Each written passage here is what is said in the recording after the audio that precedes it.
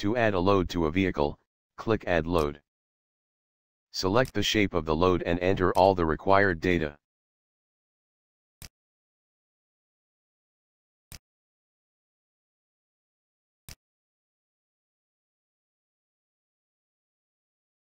Click OK. Now, a load is added to the vehicle.